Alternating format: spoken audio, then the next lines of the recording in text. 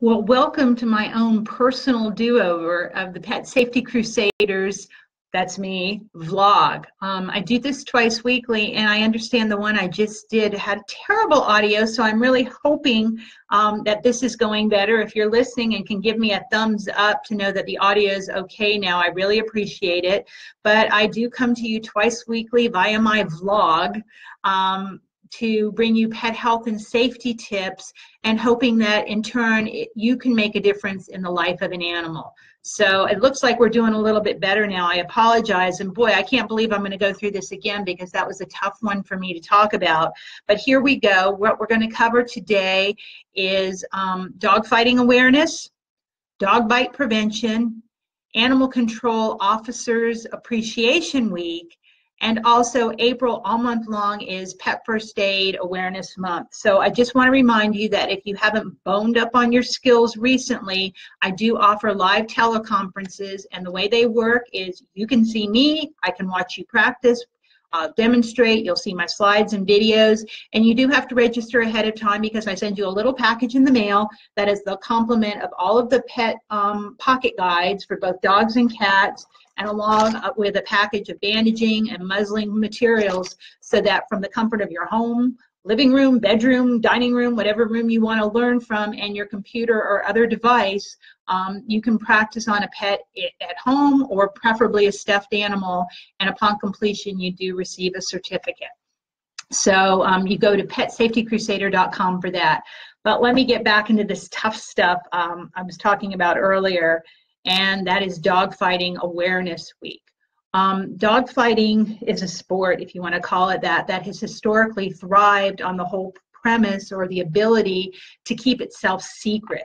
Um, it, it happens in secret locations, and for the most part, it avoids attention by the general public or even the, the law enforcement strangely enough, you'll come across people who really don't believe it even exists today, and it does. It's pretty much remained unchanged in the United States for about the last 150 years, with just a few differences I will share with you um, in a moment. What, however, did bring it to light um, to a lot of people was the 2007 um, arrest and conviction of NFL Michael Vick.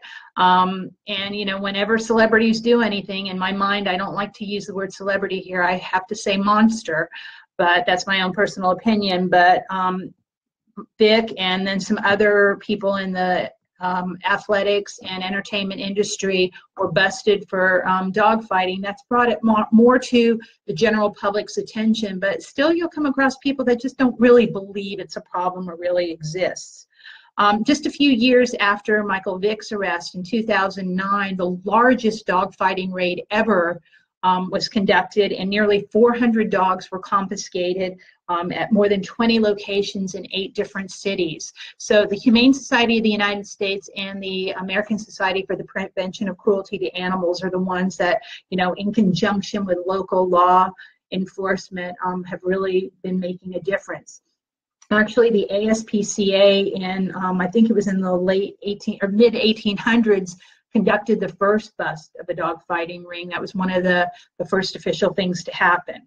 Um, what has changed a little bit is that the professional fighting rings um, the 60s, the 70s, the 80s that were really out in rural private areas have now moved inside. It's kind of a new generation of street fighters, so to speak, and um, the the fights actually occur in more urban and open areas and actually pretty frequently. So you know they are more likely to get caught i hope. But in the meantime so many animals are suffering whether they're the animals that have actually um, been chosen to fight or the dogs that have been thrown in the ring to pretty much be mauled the use of dogs against lions and wild boar and bulls and bears, you know, dates back like 3,000 years on, I won't say on the walls of caves, but um, on the walls in, you know, Roman settlements, you'll actually see something very similar to dogs bringing down animals and even humans.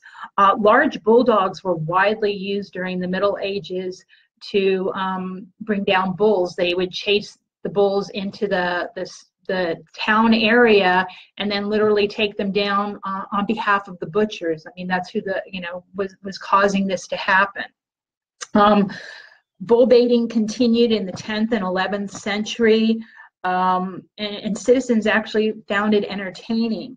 Under the reign of King Henry VIII, we've all heard about him for other reasons, he actually developed a bear garden. I'm sure there was beer too, or meat, or whatever happened to be that the drink of the day, but it was a bear garden where people would pay a penny to come and watch the dogs kill the bear.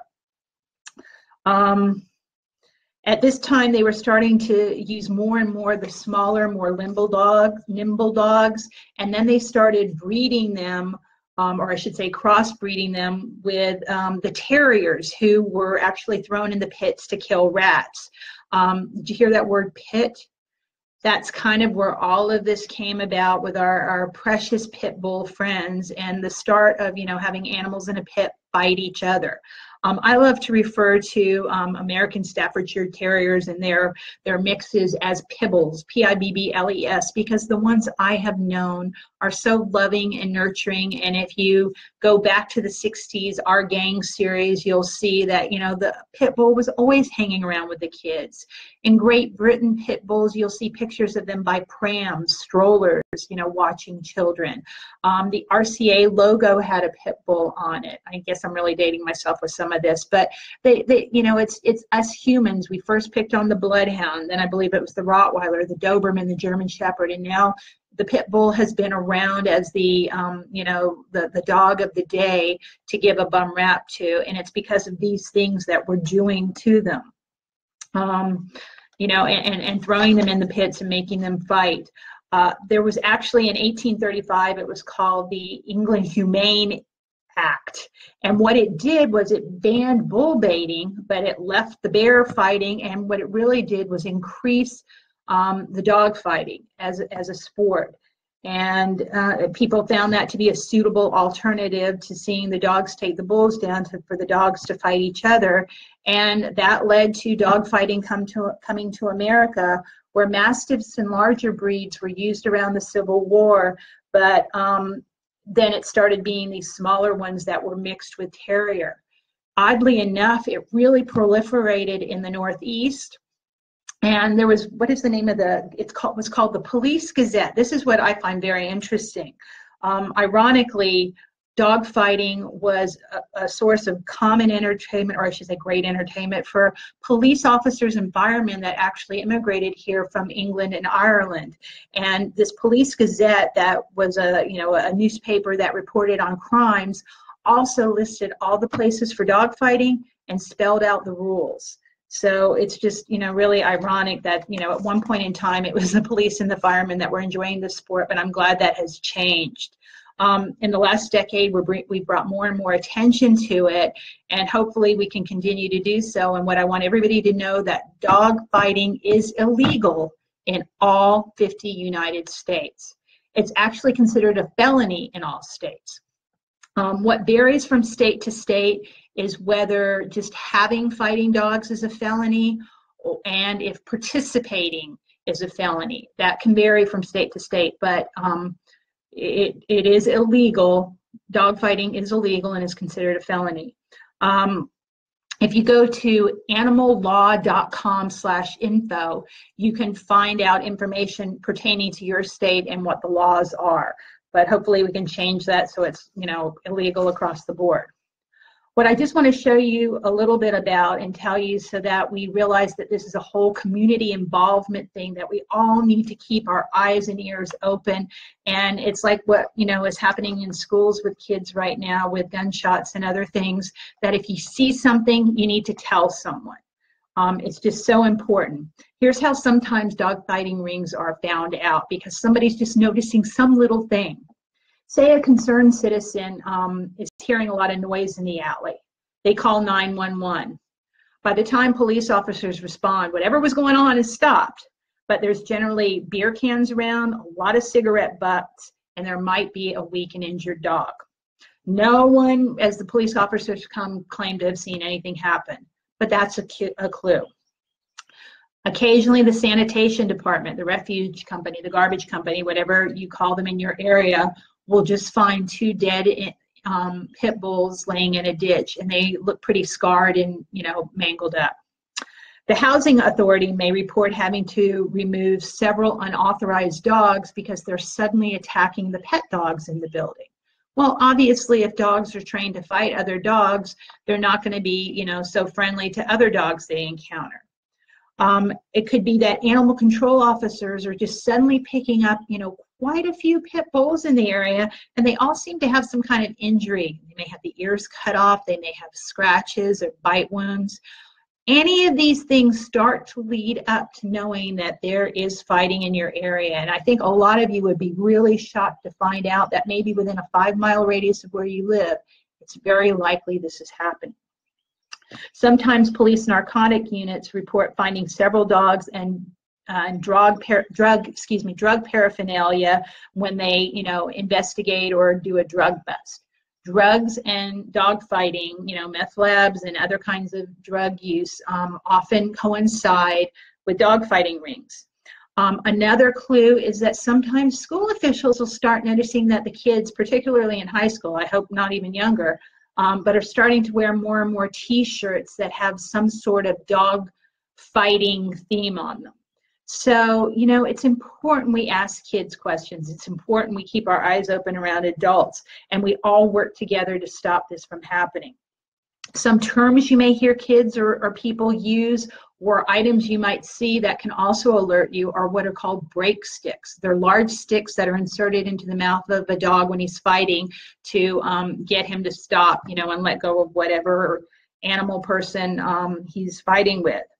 A flirt pole is I like to think of it, I don't like to think of it, but I do think of it as similar to what a lot of people exercise their kitty cats with, kind of, you know, a stick with a string and a feather or a toy on it for the cats. Well, we're talking something much bigger. It might have a hunk of meat, um, a bone, or a toy on it, but it is um, one of the ways they exercise dogs. I really hate the name of this, but it's called a rape stand. And it's simply where a female is, you know, uh, confined so that um, she can be bred and they will have more puppies for bait dogs or more puppies for fighting in the near future. If you see wash tubs around, of course somebody can have a wash tub and use it to wash their dog or whatever. You know, I'm, I'm not trying to tell you every time you see one of these things, it means there's a fighting ring, but it's things to look for. Wash tubs are often prevalent at fighting rings simply because before an animal goes in the ring, they might hose him off and wash him down because they're afraid a competitor might have put a noxious substance on that dog's coat so that when the other dog bites at him, he'll ingest that poison and go down much more quickly. Um, just a, a double whammy of horribleness, but something to keep an eye out for. Barrels or half barrels are often used as shelters, but if there are barrels around or if there are a lot of dog houses and big heavy chains, um, also treadmills, which are ways that they exercise the dogs. And then additionally, when you're seeing, like we, you know, I said a moment ago, drug paraphernalia, needles, a lot of beer bottles, alcohol bottles, um, you know, cigarette butts around, in combination with other things, this should alert you to alert somebody else. If you want to get more involved in this, I hope you will on some level or encourage the appropriate people in your community to. A great resource is, is, is Dogfighting, a guide for community action, and you can locate it at ASPCA Pro, ASPCAPRO.org, and just, um, you know, uh, search for additional information. So there's so much more to say on this subject, but I just had to bring it to light um, today a little bit to make us more aware. I next want to tackle Dog Bite Prevention Week, and that's our human responsibility. Uh, we need to train our pets to be obedient, but we have to set them up for success. Don't let them fail by leaving them to babysit the kid. Um, children can be, you know, don't understand and they can pull ears or pull the tail or stick crayons in the ear. They may take the dog's toy or bother him while he's sleeping or eating. It's our responsibility. The dogs only have the way to respond with a grumble, which usually comes first, or a snap. And, you know, obviously it can be dangerous. I will tell you, though, that 5% of the time when humans are bitten, we don't get an infection. With cats, that number is way over 50% because their more needle like teeth and their saliva do cause us problems. But that is said, I do realize that the injury can go beyond infection. Um, four and a half million people are bitten by dogs every year, and about 800,000 of them end up needing medical care, half of which are children. So teach the young, but also remember ourselves as older people. And a lot of us, I see those of you that are watching, and we all love animals, and we certainly hope all dogs love us.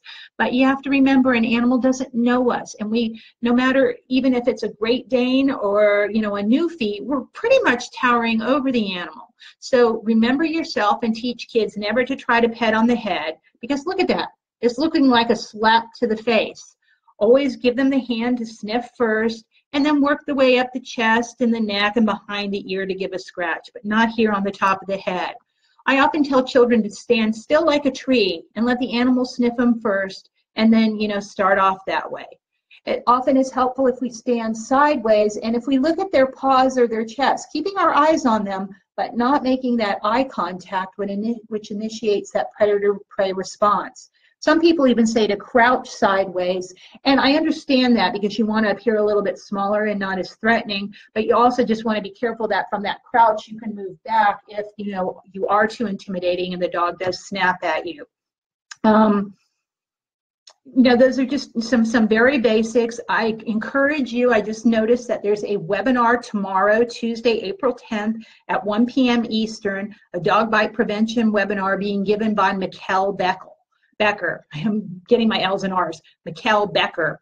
Um, Mikkel is Dr. Marty Becker's daughter. Dr. Marty Becker is America's veterinarian. He's an amazing man. He's lectured at every um, veterinary school in the country. I recently had the opportunity to um, speak with him, and I, have also been on a panel where I've gotten to share some of his Fear Free initiative with pet owners as well. But he's amazing, and his daughter is equally amazing. So tune into her webinar. I think you need to register first. It's 1 p.m. tomorrow, and you need to go to gooddoginabox.com to sign up for it. So you might get some more tips there that you can share with clients, with you know children, with just the average human who may think every dog loves them, but really needs to give that dog time to get to know him or her first.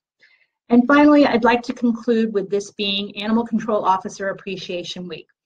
And so many of us grew up watching the cartoons where there's the, the sneaking around uh, dog catcher with the net over his shoulder and he goes into people's yards and, and steals their dogs.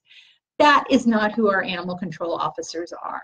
I've had the pleasure of volunteering um, alongside so many of them over the years, and they all are really amazing people who care about animals. Sure, they have to put up a little block because their hearts are getting trampled and stepped on and crushed every single day multiple times, but they really do have our pet's best interest at heart.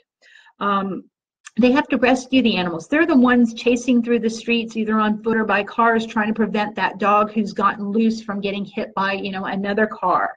They're the ones that may have to get um, gosh, the dog out of the sewer grate or that's got his head stuck in a fence or the cat out of a tree. You know, sometimes those have to be the, the tree people, um, our tree trimmers, but, you know, they do so much to rescue our animals. They um, enforce animal law in your community. They, depending, you know, every shelter is a little different, so don't quote me verbatim on all of this, but for the most part, they can issue a warrant. If you have too many animals in your house, if the dog is barking constantly, if you own a rooster and roosters aren't allowed in that particular neighborhood, if you aren't cleaning up the dog poop, um, you know, anything that you aren't doing to keep your pet safe and to abide by the community rules, they can issue a warrant and they'll check back up on you to see if, you know, you've um, done what you're supposed to. And if not, then police officers, you know, will take it from there. Animal control officers check the kennels, the doggy daycare centers, the pet stores in their community to make sure animals are being well cared for. So they have a lot of responsibilities. They may work the front desk and be the one that has to intake a dog from a 14 year old dog that the family just no longer wants and is relinquishing to a shelter. Um, on the opposite end, maybe they'll finally, you know, be at the counter too when that dog gets readopted.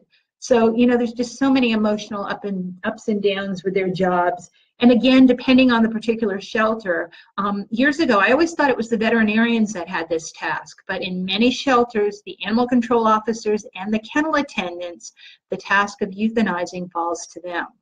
And, you know, it can be a pet that certainly, you know, is in much distress and it's the kindest thing to do.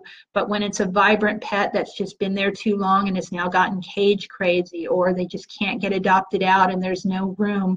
Um, and this may be a dog that this kennel attendant or this animal control officer is actually um, you know, caught from traffic or that has spent time with, you know, over the days, weeks, or months that the animal's been at the shelter, they may have to be the one to issue those final goodbyes, um, whether they make the decision which is hard enough, or the one that has to actually um, give the injection.